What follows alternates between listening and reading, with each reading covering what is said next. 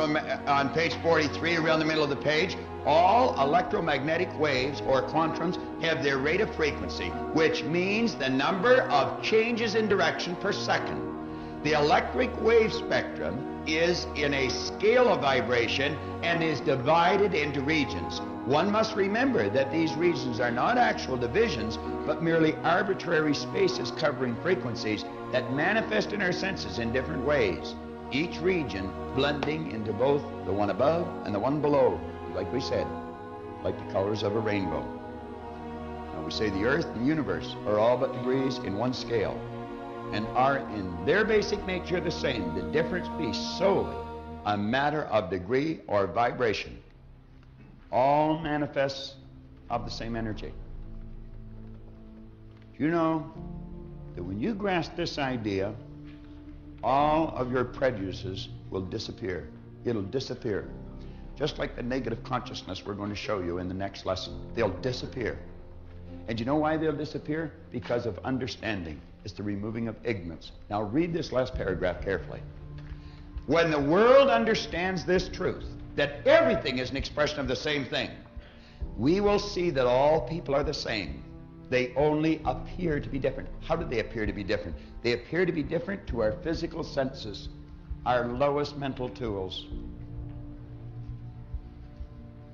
The dividing lines are not borders, color, or language, but ignorance.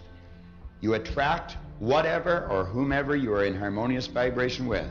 The results vary, the people remain the same. The results vary, the people remain the same. We may see a black man and a white woman, or a white woman and a black man. You know what I enjoy watching when I see that? I enjoy watching the people around. Watch the expressions on their faces.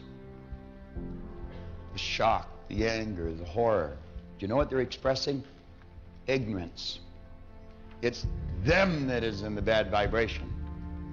We have got some real crazy ideas. How do we get these ideas? Well, I remember when I was a little boy, you know, and the little life that John talked about yesterday, I can remember my grandmother. She was a dear old lady. I loved her.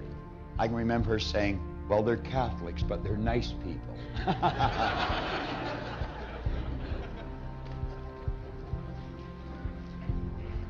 On page 44, we say everything is an expression of the same thing. Now, we're repeating ourselves just different ways. But I want you to take time and read these paragraphs carefully.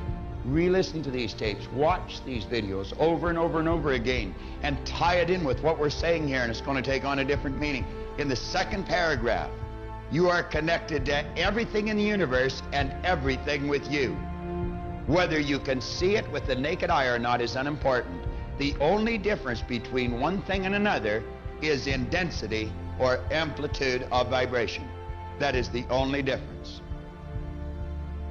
When you choose certain thoughts, brain cells are affected. They vibrate and send off electric waves. When you are concentrating on those thoughts, you increase the amplitude of vibration of those cells and the electric waves become much more potent. Do you want your thoughts to be more potent? Develop the willpower, the will, and the mental faculty. That gives you the ability to concentrate.